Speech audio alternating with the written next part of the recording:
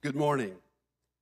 My name is Jimmy Painter. I'm the senior pastor here at Cresthill, and this is God's word for you today. Your mouth, 10 things you need to know. These past two weeks, we've explored the first five of these 10 commands of God.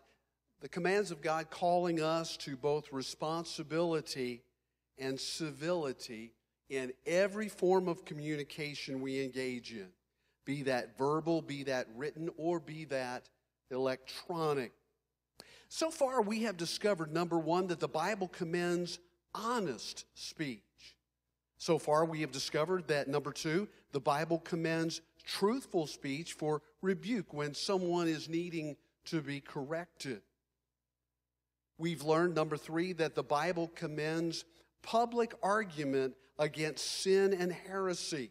Not just doing it privately, but as public as the uh, statement against God and God's word and God's plan, as public as that is, it needs to be addressed in a public way too. So the Bible commends that kind of public argument against sin and heresy. We've discovered, number four, that the Bible commends the appropriate use of satire and other forms of creative engagement. It's often not what we say, but how we say it, not just the content, but de- the delivery. And sometimes God uh, calls us to use varieties of communication in order to get somebody's attention. And that's where satire and other creative forms of communication can achieve that purpose for us. And the fifth thing that we've learned so far is that the Bible commends civility, acting in a civil way, a proper way, a godly way to one another. The Bible commends civility, and here's a word that is really needed for such a time as this respect.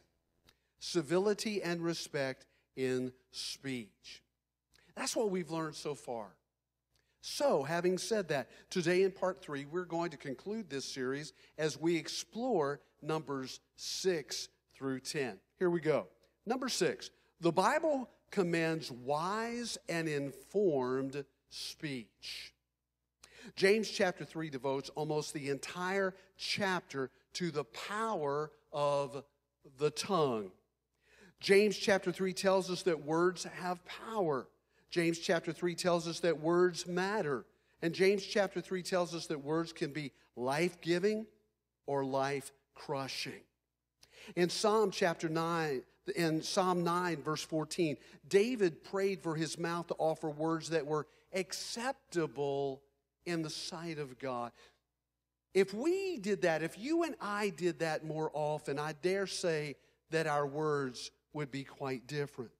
Proverbs chapter 25, verse 11 testifies to the value of saying just the right word at just the right moment. Passages like James 1:19, Proverbs 17:28, and Proverbs 29:20 strongly rebuke people who speak before they think. Do you know anybody like that? Who speaks before they think? When you look in the mirror, are you seeing someone who speaks before they think? The Bible strongly rebukes us, and I include myself in that, when we speak before we think. The Bible tells us that when we speak, what we speak must be wise and informed. Wise. What's the difference between wisdom and knowledge? Knowledge, that, those are facts and data. Wisdom is how you use those facts and data in order to communicate God's love and God's truth to another person. And so the Bible tells us that when we speak, we need to speak with wise and informed words.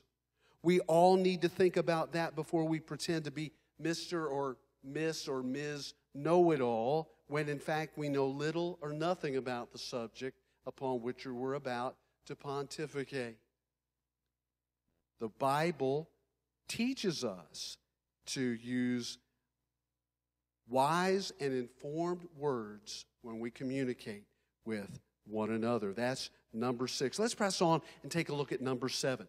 What's the seventh thing we need to know about our mouths and how we use them. Here it is. Number seven. The Bible says that the mouth is the barometer of the heart. Your mouth is the barometer of your heart. In Luke chapter 6, verse 45, Jesus said, The good person out of the good treasure of his heart produces good, and the evil person out of the evil treasure of their heart produces evil. For out of the abundance of the heart, the mouth speaks. Did you hear that? Out of the abundance of the heart, the things that we have filled our heart up with, those are the things that come out of our pearly whites. You see, words by their very nature are never neutral. Words reflect either good or evil. So no one can ever truly say, Oh, I didn't mean to say that. When we speak, if I might offer some wise counsel, I pray it is today, when we speak, and most of us will, it is far better to say, when we say the wrong thing, to say, I apologize. Those words came from the unsanctified side of my heart. And I think we've all got one of those sides. So we need to apologize for what we say, not make excuses for it. Furthermore, while it may be your right to speak your mind, more often than not, it is not the wisest course of action. As a genuine believer in Jesus, speaking your mind may not reflect what is true or what is virtuous, or for that matter, what is Christian. Texts like Romans chapter 12, verse 2, and 2 Corinthians chapter 10, verses 4 and 5 tell us that the mind of a genuine believer in Jesus is in a constant state of needing to be renewed by God. Remember, what comes out of your mouth is a good indicator of what's in your heart. Number eight, the eighth thing that you need to know about you and your mouth. The Bible commends the wisdom of not sharing everything with everyone all of the time. Now, let me repeat that in case somebody missed it. The Bible commends the wisdom of not sharing everything with everyone all of the time. Proverbs chapter 11, verse 13 says, Whoever goes about slandering reveals secrets, but he who is trustworthy in spirit keeps a thing covered. Proverbs 11:13 says that trustworthy people keep confidential information confidential. Proverbs 11:13 says that it is a sign of a person possessing low or little character to reveal secrets to other. Have you ever known anyone that just couldn't keep a secret? Have you known anyone that just lives to gossip? That gossip seems to be their calling in life. It's not, but it appears to be so. You know, if we go on television, there are gossip shows, there are gossip channels. There are places we can go on the internet to find out the latest gossip in the entertainment world or in the political world or in the world in which we live. But the Bible says we shouldn't camp there. We shouldn't stay there. As a matter of fact, we should not engage in telling stories about one another at all. In Proverbs chapter 12, verse 23, the Bible extols the prudent man, the wise man or woman, boy or girl, teenager, the prudent, that's the word that is used in the King James Version, the prudent individual who knows to keep information to themselves and rebukes a fool's heart that blurts out folly. Sharing everything all of the time to anyone who will listen is not a sign of transparency. Sharing everything all of the time to anyone who will listen is also not a sign of authenticity. Then what is it? It is a sign of stupidity. say, well, my, Jimmy, that's kind of harsh. It needs to be. I wonder if God had Facebook, Instagram, and Twitter in mind when he inspired the biblical writers to pen these words. I, for one, believe he did. I believe that God looked across the vista of time and said, one day in the centuries to come, people are going to create a means by which everybody can talk about everything and anything to anyone, anytime, with absolutely zero accountability. That's not just harmful and hurtful, but it is, by definition, technically speaking, stupid. The Bible commends the wisdom of not sharing everything with everyone all of the time. When it comes to you and your mouth, let's take a look at number nine. Here's the ninth thing the Bible commends humility as a sign of grace. The Bible commends humility as a sign of grace. God resists the proud, but gives grace to the humble. We see that throughout the 66 books of the Bible. This is a maxim, biblically speaking, and this maxim is mentioned at least three times in scripture and it is alluded to countless other times the places we find are proverbs 3.34 james 4 uh, 6 and 1 peter 5 5 what does this have to do with our speech? It tells us that graceful measured civil speech. Do you remember what grace is? Grace is when god does not give you what you deserve. As opposed to mercy when God does not give you what you do deserve. Grace is a gift, it is his unearned, unmerited love. You can't do anything to get it. And the way that we speak should be flavored, if you will, seasoned is one of the images that the biblical writers use, that our speech should be seasoned with the grace that we have experienced in Jesus. Graceful, measured civil speech is a sign of God's grace, while proud, boastful speech is a sign of God's resistance. Humility means speaking with recognition of our own fallenness. It means resisting the urge to speak out of turn. It means we have the self awareness to know if we are the right person to speak on a particular issue at a particular time. grace. We are vehicles of God's communication to others.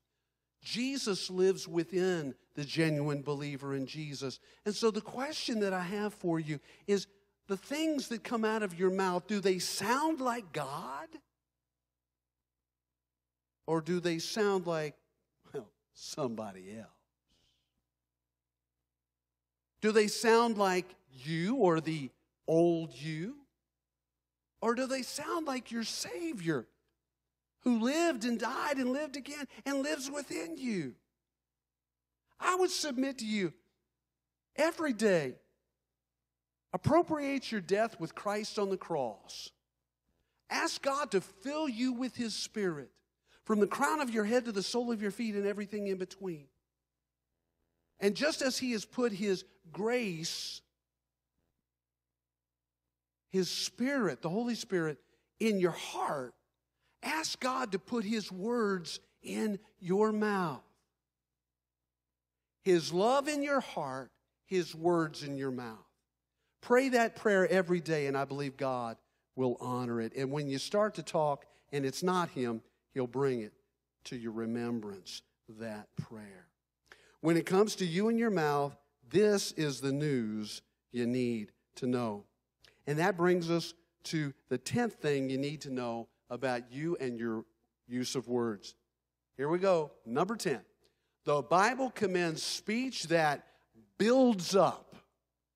The Bible commends speech that builds up. Ephesians chapter 4 verse 29 says, "Let no corrupting talk come out of your mouth, but only such as is good for the building up as it fits the occasion, that it may give grace to those who hear. In this text, Paul tells us that we can speak words that destroy or words that build up. We have that capability. This is true in what we say. This is true in what we write. This is true in what we email. This is true in what we text. This is true in what we tweet. This is true in what we blog, vlog, or share otherwise.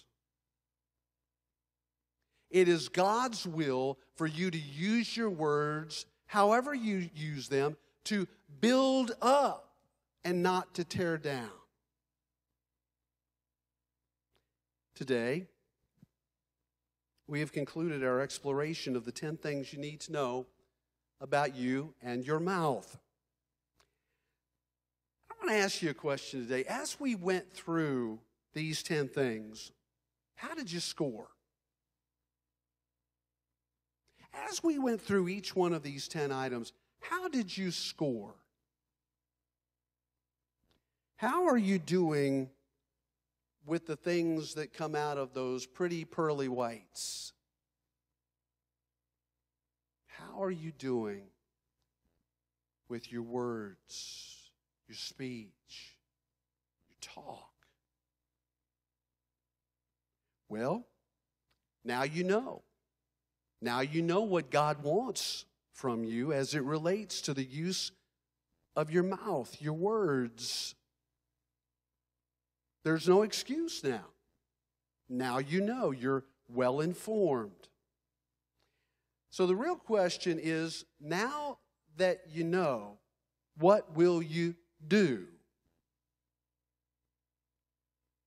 God is awaiting your answer. Let's pray. Heavenly Father, we have encountered you now in the Bible several times in this series of studies. We have heard your voice clearly as you've spoken to the way that we are supposed to speak. And now we understand what you expect. Now we understand what you want. Now we understand your good and perfect will. Now we understand that we just can't say whatever we want to to anybody we want to. Today we fully understand that we can never use the, ex- the excuse, that's just the way I am. No. Child of God, you are born again. It is Christ that lives in you. And the life that we now live in the flesh, we live for the Son of God, as the Bible said, who loved us and gave himself for us, crucified in Christ. So, Father, the starting place is to ask for forgiveness for every hurtful word that we have said. We, We've read in the Bible that one day we're going to be held accountable for all of those words. That's, that's a, a frightening, frightening thought. So forgive us, O oh God, and cleanse us of all of that. It's too much weight to carry. Forgive us. Thank you that we have another chance to be able to speak, even as you speak and long to speak through us. Today, we make collective and individual commitments to be the voice of God in this world at this time, to be your mouthpiece, to be your megaphone, to be your microphone, to be the voice of God in a world that needs to hear you so. Use us to that end in Jesus' name. Amen. It's been a great experience for me, and I'm glad to have the opportunity to have explored these 10 things as it relates to our mouths and our communication, the way we talk, to make sure that our walk and talk match up. But did you know that it's not just something that you do, it's something that God does through you? And it's not like you can try harder and it's going to correct all of this. Only God can make this happen. And the only way that God makes this happen is when we receive His Son as our Savior. If you have never asked Jesus Christ to come into your heart, I invite you to do that right here, right now. It's a simple thing to do. It's the most important thing you'll ever do.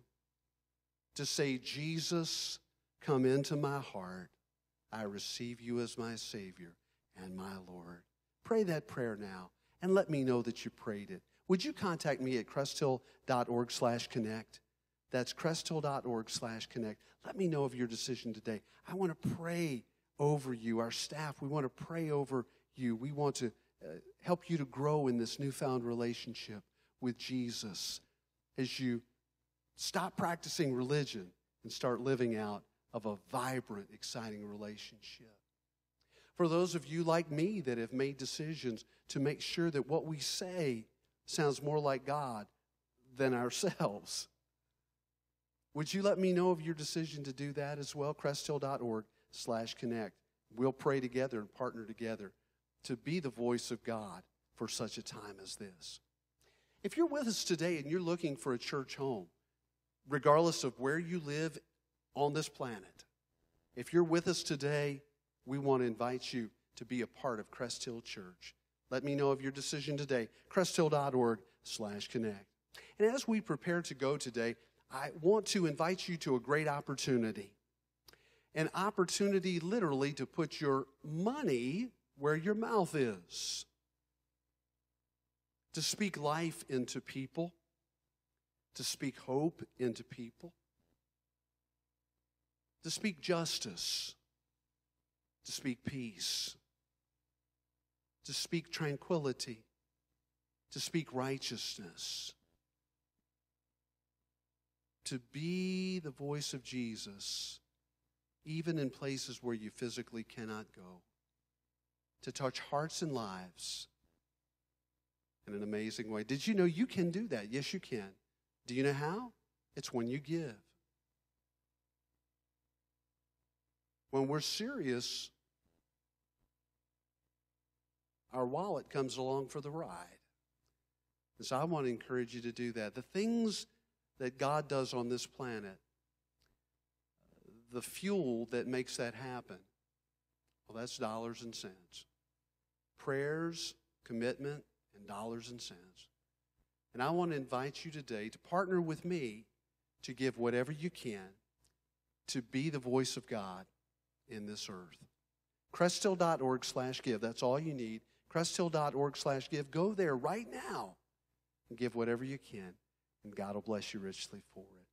It's been such an honor to be with you today, to have worshiped with you, to have shared God's word with you, to have prayed together, to have encountered the living God today. I look forward to being with you next week.